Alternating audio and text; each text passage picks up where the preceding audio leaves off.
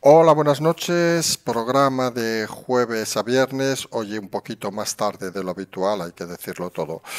Hoy es un día de esos que las noticias también se van acumulando y prácticamente nos parece muy curioso, pero casi nos da tiempo a hacer informaciones diferentes a la mañana y a la noche.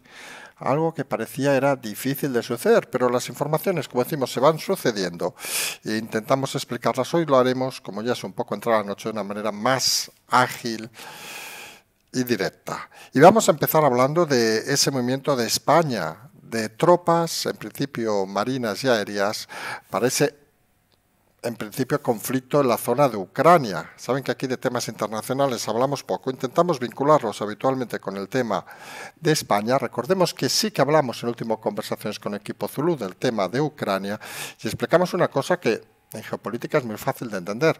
La zona que en principio está interesada a Rusia, vamos a hacer un poco aquí de rápida geografía, es la zona, digamos, de ruso-hablantes, vamos a llamarle así, que parece más una anexión de unos territorios que desean formar parte de la madre Rusia que una invasión de un país ajeno.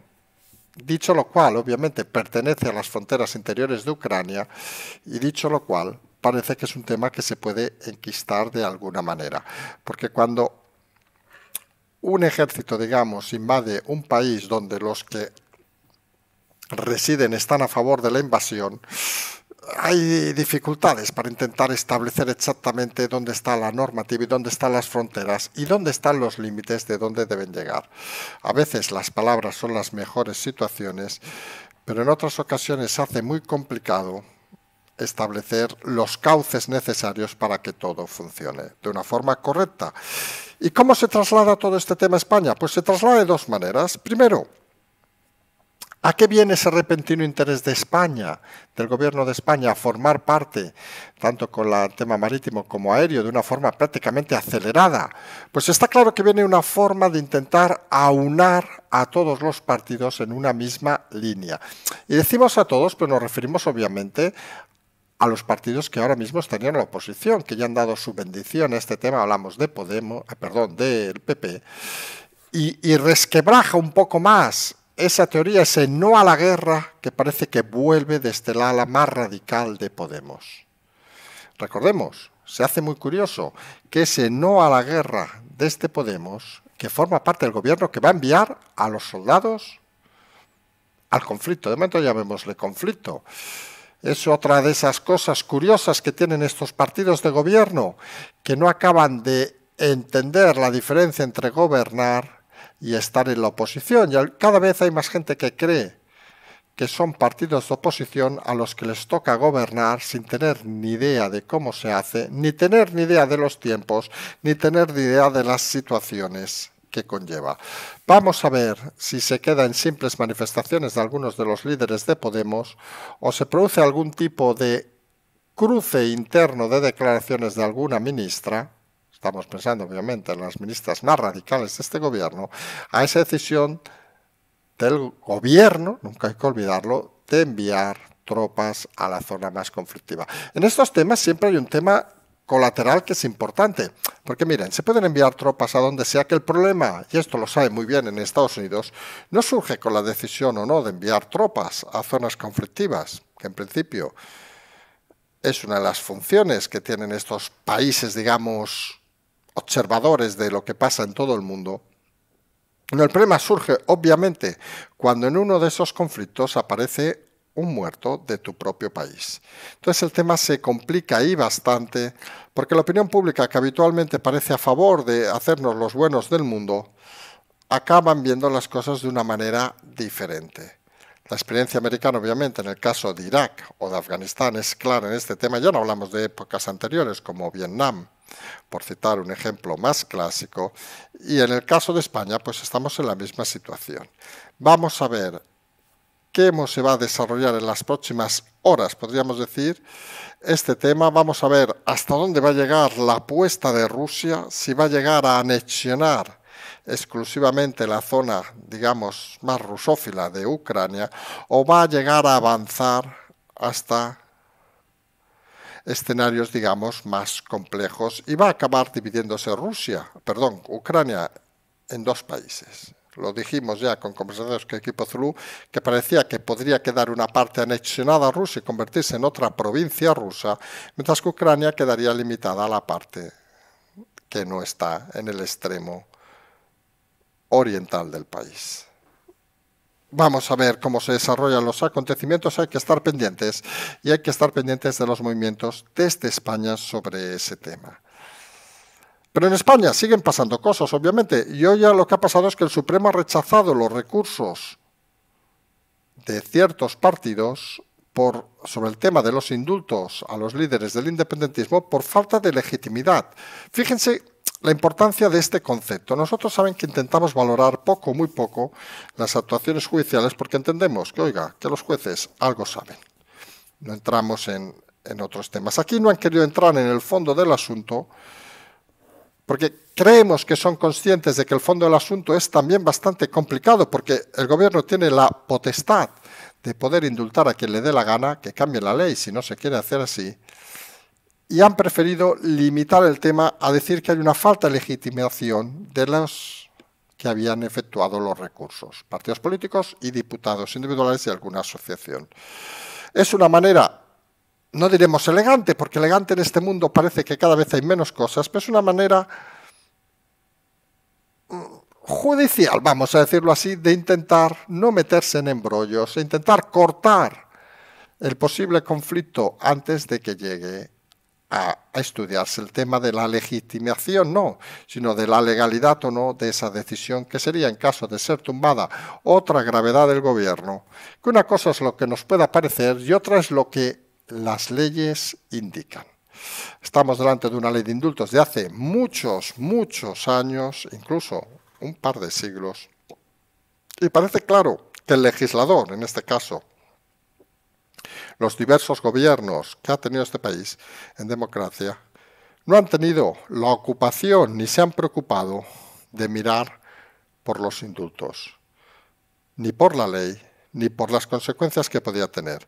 Se hace complicado que esa responsabilidad del legislador ahora pase, curiosamente, a los jueces que simplemente han hecho algo que seguramente en su situación algunos seguramente también hubiéramos dicho, oiga, decimos que no están legitimados porque obviamente no lo están según las sentencias y nos ahorramos entrar en un conflicto que nunca olviden, no es culpa de ellos, ni culpa incluso del gobierno, sino curiosamente más de uno de los que ahora mismo estaban impugnando tuvo la mayoría absoluta para cambiar esa ley de indulto en su momento y no lo hizo.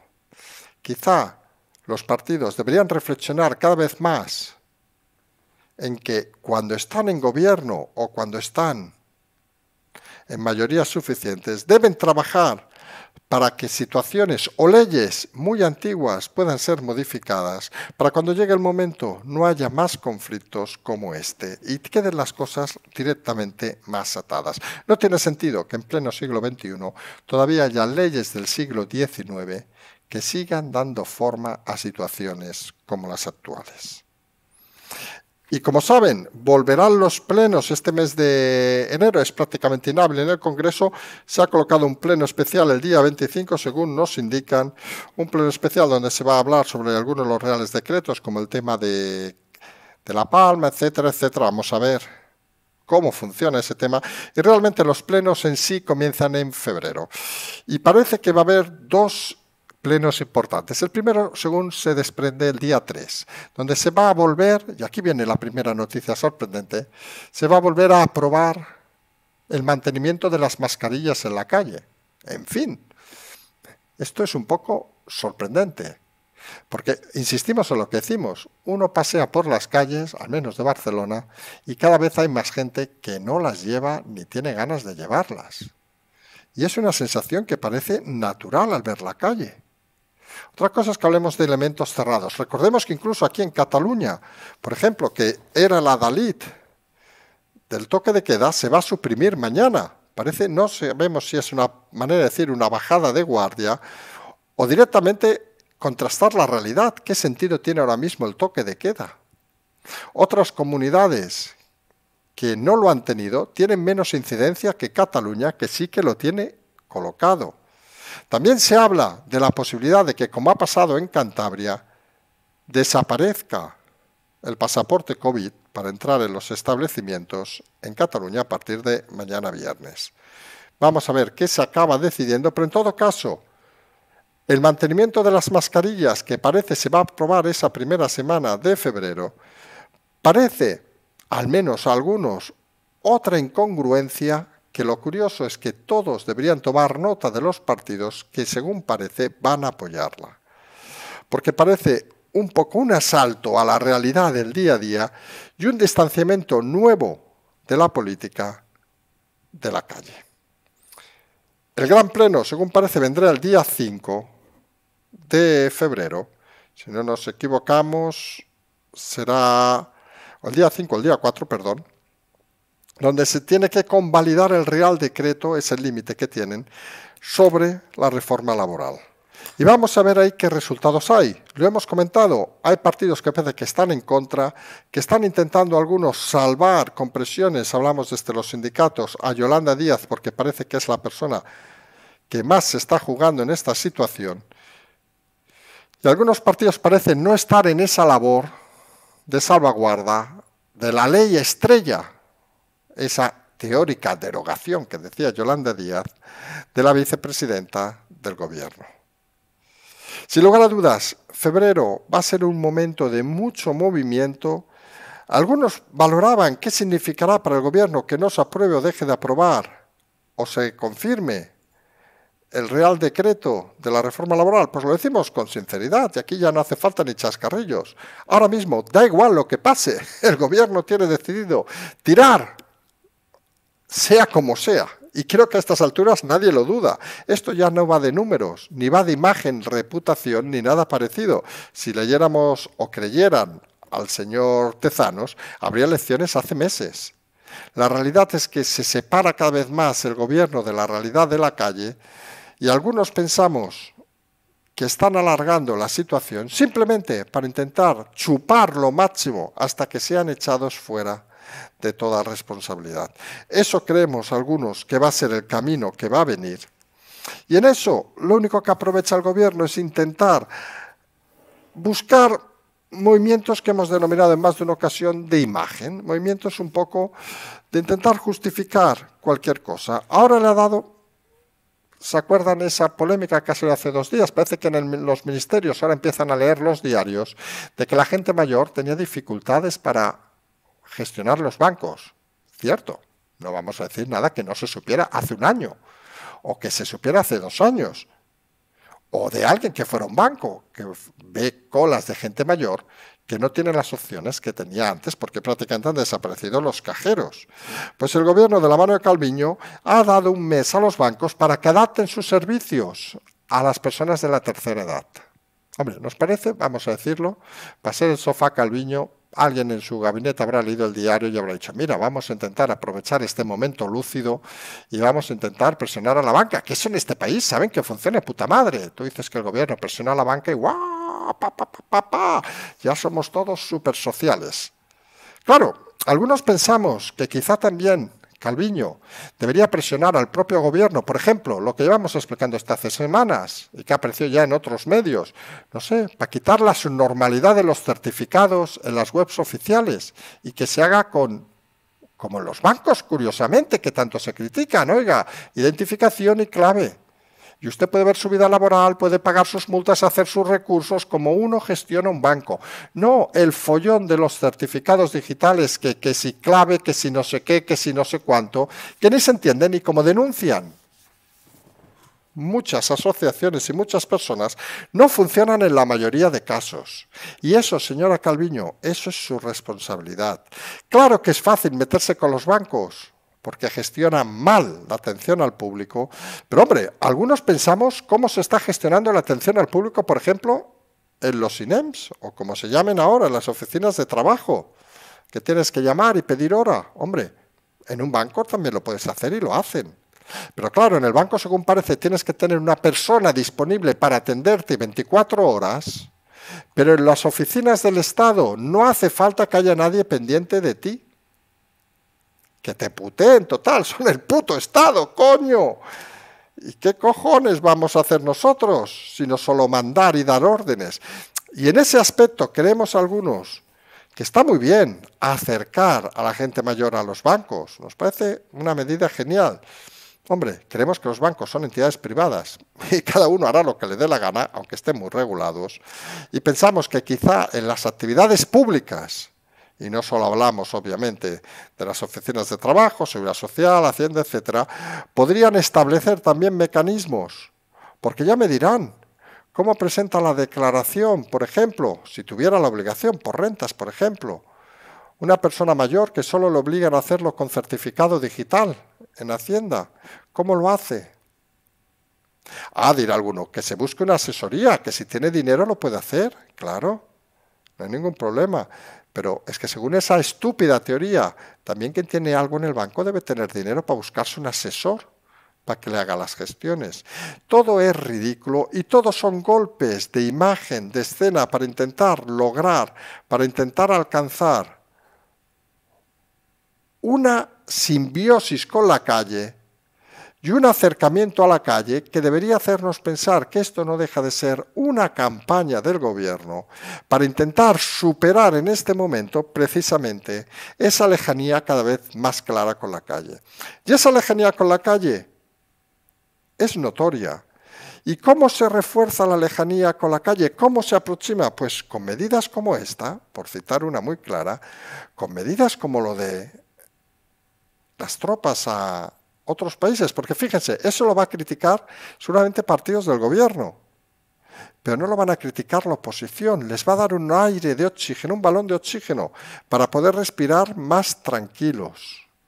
Y esa es la táctica actual del gobierno, que lo que busca realmente es un gobierno que necesita aire para respirar porque empieza a estar muy presionado y empieza a estar agotado. Saben que quieren mantenerse lo máximo posible y van a hacer cualquier movimiento para intentar lograrlo de manera efectiva. Y a todo esto, hay cosas que siguen sucediendo en el ámbito más local. Ya hablamos obviamente de nuestra gran amiga Ada Colau, a la cual han salido hoy todos los asesores del gobierno de Barcelona a criticar, a insultar, todo lo que ustedes quieran. Ya saben, nosotros somos peligrosos de ultraderecha. Eso nos dicen, es alucinante, en serio. El otro día alguien preguntaba en el chat de dónde estamos y respondía alguien, dice, este señor, por tal como habla, parece que es de centro izquierda. Hombre, no sabemos si escribirnos aquí ideológicamente, pero está claro que estaríamos más cercanos a esa lida que al tema de ultraderecha. Pero en fin, cada uno luego opine lo que le dé la gana. Pues como decíamos, pues según parece, y no es ahora una asociación, que es lo que ahora estaban insultando, de que es una asociación de malvados, la que ha denunciado a Dacolau, y según parece, si quien denuncia es malvado ya no vale. Con lo cual, según esa teoría, cada vez que denuncie Chenique condenado, por múltiples casos no debería valer, porque es un condenado. O cada vez que denuncie eh, Bárcenas, por ejemplo, tampoco debería valer, porque supuestamente es un chorizo.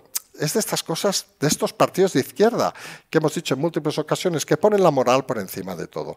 Y lo curioso de esta situación es que hay más temas, y según parece el Tribunal de Cuentas, ojo, que no estamos hablando del vecino del quinto, ni de una asociación de malhechores de ultraderecha confabulados con algunos medios locales, como dice esta gente de Podemos, sino el Tribunal de Cuentas indica que el Ayuntamiento de Ada Colau desvió, ojo, nada más y nada menos que 5,2 millones de fondos dedicados a salvaguardar a los barceloneses del COVID, a hacer publicidad de su gestión municipal.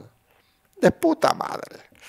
O sea, ¿se acuerdan ustedes, bueno, los que estamos en Barcelona, cuando eran aquellos momentos de febrero, de marzo, finales de marzo, abril, que la gente aplaudía, había carceroladas y todas las chingadas estas que había por, las, por los balcones y tal?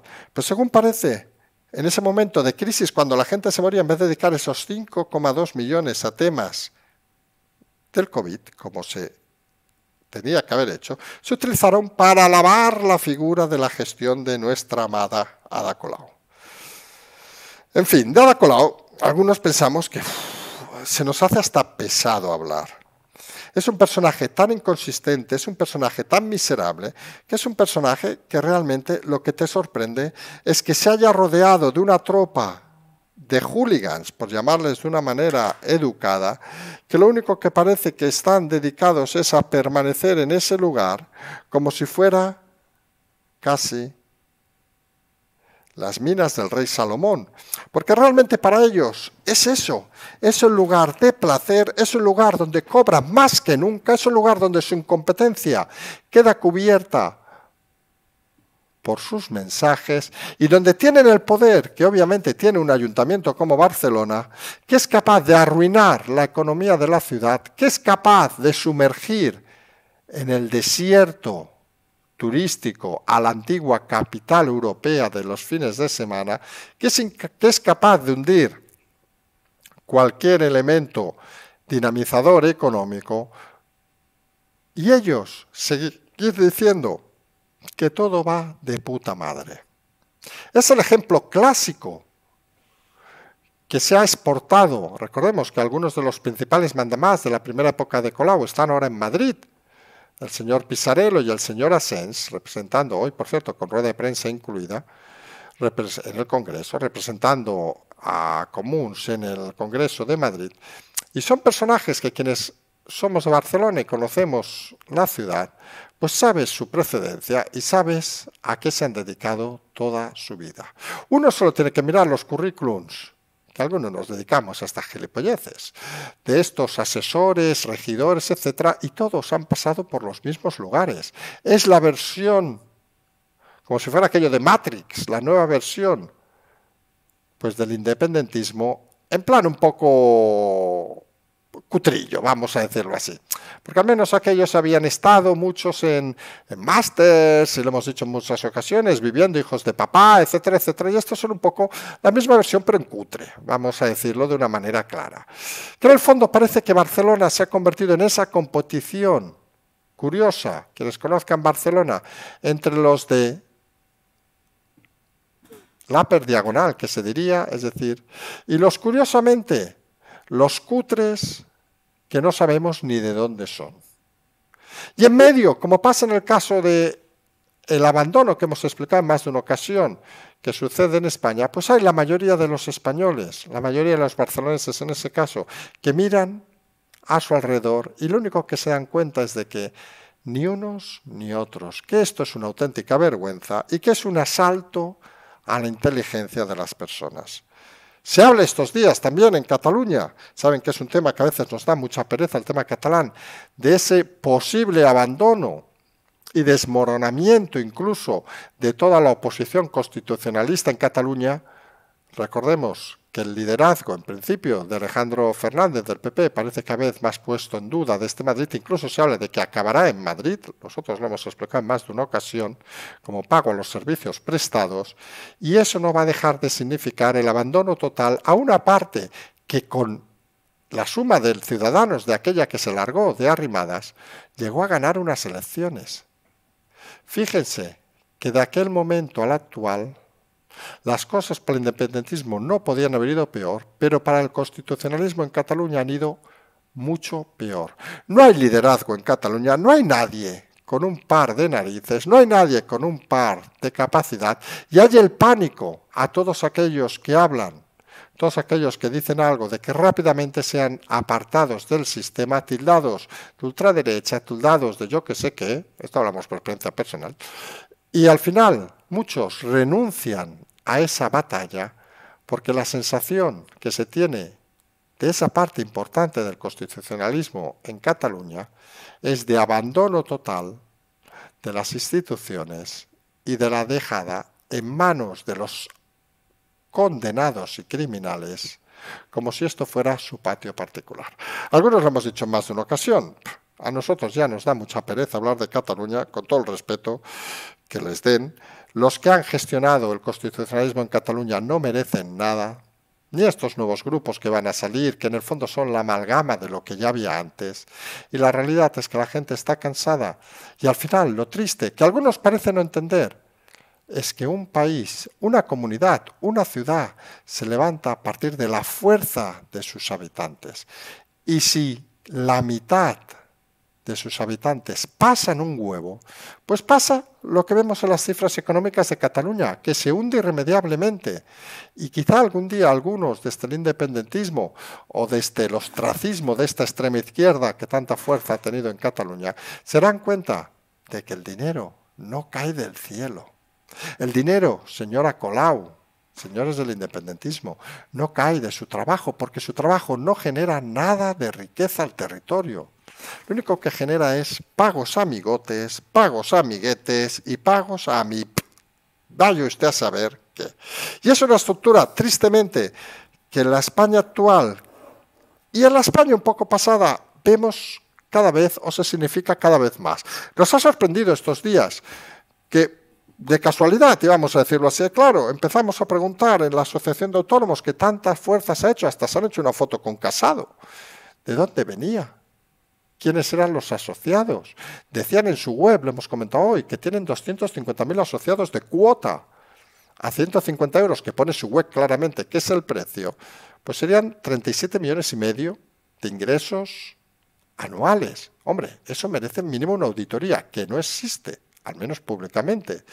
Y todo es bastante sorprendente. Luego cuando te explican que no, que la asociación nace del padre del actual presidente con su hermano, y que parece una empresa familiar, que tienen unas ramificaciones empresariales de unas 20 o 30 sociedades, hombre, se hace extraño. Luego te pasan boletines, porque hay gente en este canal que creemos algunos de forma efectiva, pues te va pasando cosas y te pasan boletines del BOE con subvenciones millonarias a la asociación. Y dices, pero ¿y esta gente qué ha hecho? Porque claro, yo le he preguntado hoy por redes, ¿cuántos de los que nos siguen son miembros de ATA? Y creo que ha salido uno o ninguno, vamos a decirlo así, claro. Y yo personalmente no conozco a ninguno, a lo mejor estoy equivocado, ¿eh? Y resulta que sí, que hay 250.000, según ellos, TQOT 450.000, algo así como de voto, o sea, uno de cada diez autónomos está o forma parte de ATA pues deben ser toda la gente que no nos escucha, supongo, porque al menos se hace sorprendente. Nos han dicho eso sí, que vale para ponerte gasolina un poco más barata. Miren, para alguna cosa sí que es eficaz. Pero la realidad es esa poca transparencia que habitualmente existe en la política, que se intentó solventar con temas como el portal de transparencia, con incluso las preguntas en el Congreso por diputados, que creemos que son temas a explotar, pero que parece lo que se llamaría, y esto es una traducción literal de Cataluña, aquello que dice la sociedad civil, que estas asociaciones, como los sindicatos, deberían serlo, parece que no son los modelos de transparencia exigibles en ningún lugar serio y responsable.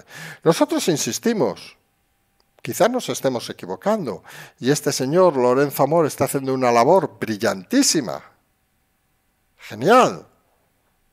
Pues nada, que lo explique que explique, por ejemplo, ya que cobra tantas subvenciones públicas, ya que vive del erario público, según parece, ya que participa como representante de un colectivo como los autónomos, que explique, para eso que usa tanto el tweet o su blog, que diga, mire señores, señor Carlos Enrique, transparencia, cobro 62.500 euros cada año o cobro 182.000 euros al año y tengo 22 sociedades a mi nombre no sé, yo creo que sería justo que esta gente que vive del dinero público y que participa por ello en actos que son de suma importancia para el país y para los autónomos, recordemos, hablan en nombre de todos los autónomos, pues que expliquen un poco de transparencia y que no hagan la sensación que algunos cada vez tenemos más clara de ser simple y llanamente. ¿Recuerdan lo que dijimos de la España vaciada de ese partido, que era la marca blanca de un partido? Pues estas asociaciones parecen la marca blanca de otros partidos. De la misma forma son los sindicatos.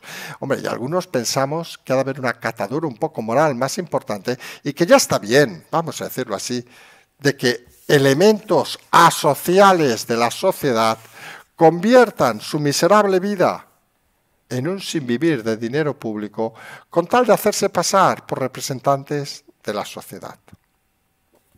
Creemos que lo mínimo es exigir transparencia a esta asociación, ya que se ha puesto tan de moda, tan popular, y que nos expliquen exactamente cuántos socios tienen, cuánto cobran sus cargos, qué vinculaciones tienen con las empresas, que aparecen publicados en los registros, ¿Y cuántas subvenciones, por ejemplo, reciben de dinero público? Seguramente nos vamos a echar una sorpresa muy grande y algunos que saben que siempre hemos dicho que está muy bien lo de la declaración de bienes de los diputados, por citar algo, porque puedes comparar, pues nos gustaría ver la declaración de bienes, por ejemplo, del señor Lorenzo Amor, que lleva unos 20 años viviendo de esto, pues explicando qué tenía en el 90 y pico, qué tenía en el 2000, qué tenía en el 2005, qué tenía en el 2010, qué tenía en el 15 y qué tenía ahora. Porque entonces es cuando te das cuenta de que algunos seguramente no están en la política ni en el mundo del asociacionismo para ayudar a los ciudadanos, sino están para ayudar simplemente a su bolsillo y para vivir mejor de lo que jamás podrían haber vivido. Es la oportunidad del señor Amor de darnos un zasca, así de claro y de decir que no, que él es un fantástico gestor, que ha logrado un montón de cosas para los autónomos y que nosotros, como autónomos, con muchos de los que nos, oyen, somos unos simples mierdas de la ultraderecha, obviamente, que vamos a decir fascistas y poco demócratas. En fin, el discurso tan habitual que uno ha escuchado desde que empezó a hablar de Cataluña hace unos años, que al final, entre nosotros, aburre un poquito. Lo triste que haya gente que se lo crea a pies juntillas, porque el problema al final, insistimos, en este país es la profunda ignorancia de muchos y la profunda incapacidad de mucha gente de pensar por sí mismo y de decidir cosas por sí mismo. Hoy jueves nos vamos a emplazar a mañana a la mañana, mañana tarde seguramente porque es el segundo café, vamos a ver a qué hora lo hacemos Recordemos que anoche en principio no hay programa. Y vamos a ver estas novedades y vamos a seguir, si ha de haber algún especial en el tema de Ucrania, vamos a ver cómo se desarrollan las próximas horas. Mientras, como siempre, tener Patreon, el canal La Transferencia y como siempre decimos, para acabar el programa, en este caso de la semana ya, el último de la semana, el jueves anoche, de confirmado obviamente, pues decimos simplemente seguimos.